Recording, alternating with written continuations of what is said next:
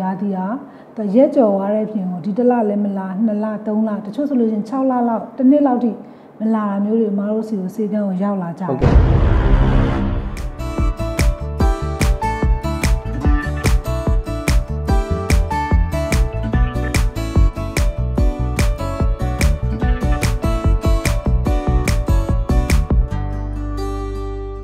မမရေမင်္ဂလာပါဟုတ်ကဲ့မင်္ဂလာပါကဲဒီနေ့လည်းကျွန်တော်မေးစရာလေးထပ်ပြီးတော့ပါလာတယ်ပေါ့နော်ဟုတ်ကဲ့အဲ့ဒါလေးမေးခွင့်ပြုပါဦးဟုတ်ကဲ့မေးပါဟုတ်အမျိုးသမီးတစ်ယောက်ကပေါ့နော်သွေးဆုံးတဲ့အရွယ်မရောက်ခင်မှာကျွန်တော်တို့ရာသီသွေးလုံးဝရက်တက်သွားတာမျိုးရှိပါသလားပေါ့နော်အကယ်၍ရှိခဲ့တယ်ဆိုလို့ရှိရင်လည်းဒါဘာကြောင့်ဖြစ်နိုင်ပါသလဲဆိုတဲ့အကြောင်းလေးကျွန်တော်ဖြေပေးပါအောင်ခင်ဗျ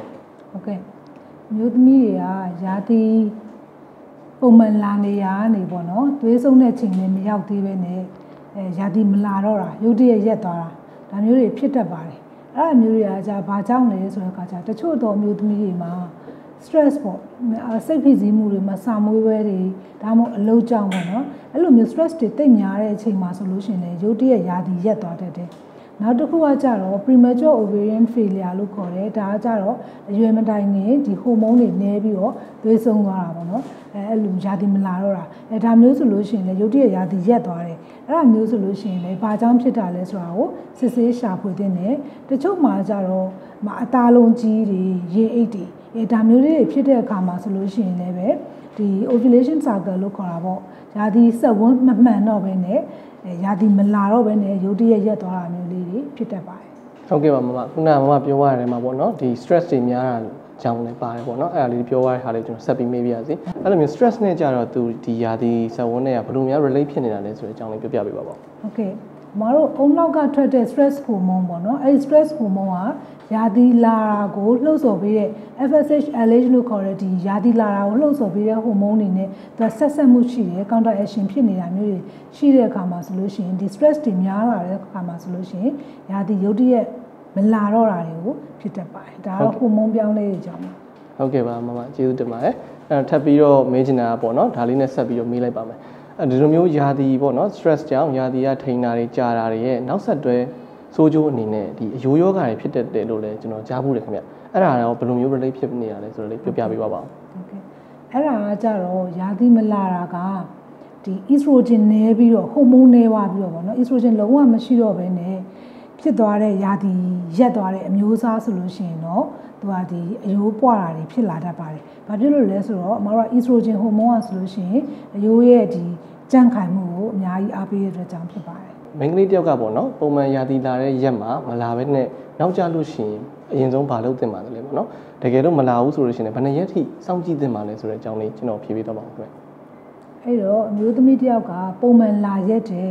နောက်ကျနေရပေါ့။အဲ့တော့အဲ့အမျိုးသမီးကအိမ်အောင်ရှိတာလား။သို့မဟုတ် relation ရှိတာလား။သို့မဟုတ် single ပဲလား။ဒါလေးကတော့ co status ကိုသိရမယ်ပေါ့ နော်။ကဲ relation ရှိထားတယ်ဆိုလို့ရှိရင်ဒီ relation ကြောင့်ယာတိမလာတာဖြစ်နိုင်တဲ့အတွက်ကြောင့်စီးစစ်တင်ပါတယ်။ကိုကပြော single ပဲသိကြရဲဆိုလို့ရှိရင်တော့ဒီယာတိကဘာကြောင့်မလာလဲဆိုတော့ဘယ်နှစ်ရက်ထိစောင့်ကြည့်ရဒါမျိုးတော့မရှိဘူး။ကိုယာတိမလာဘူးယာတိရက်ကြာသွားပြီဆိုလို့ရှိရင်တော့ကို awareness ထားပြီးတဲ့အခါမှာ OG နဲ့ပြသပြီးတော့ယောဂကြောင့်လားသွေးရနေနေတာလားဒါမျိုးလေးကိုစစ်ဆေးတင်ပါတယ် ဟုတ်ကဲ့ပါမမနောက်ဆုံးမေးခွန်းလေးမေးခွန်းပြုပါအဲ့ဒါကတော့ဒီယာသီ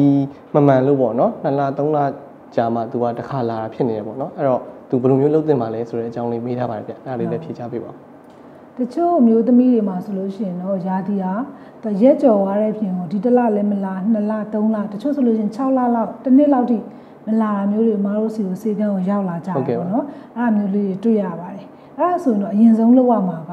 ကို့မှာဘာဖြစ်လို့လဲတွေ့ရနေသွားတာလား ဒုမဟုတ်လို့ရှိရင်အရင်ပြောခဲ့ဘူးတလို့ပေါ့နော်အဲဒီဟိုဟိုမုန်းတွေနဲသွားတာလားဒါမှမဟုတ်လို့ရှိရင်တချို့မျိုးသမီးတွေမှာဆိုလို့ရှိရင် PCOS လို့ခေါ်တဲ့ဒီတိမ်မှာပေါ့နော်တားဥအိမ်မှာပေါ့ရေတသေးလေးတွေဖြစ်တဲ့ယောဂရှိတယ်အဲအဲ့ဒီမှာဆိုလို့ရှိရင်လေသူကတားဥကမကြွေတာလာတွေကြာကြာလာတဲ့အခါမှာဆိုလို့ရှိရင်နှစ်လသုံးလနေမှာတစ်ခါပေါင်းလာတာအဲဒါမျိုးလေးတွေဖြစ်တတ်ပါတယ်အဲ့တော့ဆိုလိုတဲ့ဒိဗေကတော့ကိုရာသီမလာတာကြာလာပြီဆိုလို့ရှိရင်တော့ တေချာတက်ကျွမ်းတဲ့ဆရာဝန်နဲ့ပြတာပါတိုင်ပင်ပါလို့ပဲပြောလိုပါတယ် ဒီ C fan lady page မှာမေးထားတဲ့မေးခွန်းတွေကိုတေချာဖြေချသွားပေးရတဲ့အတွက်လည်းကျေးဇူးအများကြီးတင်ပါတယ် โอเคရပါတယ်ကျေးဇူးအများကြီးတင်ပါတယ် ဟုတ်ကဲ့ပါမမ CFM, caring for well-being.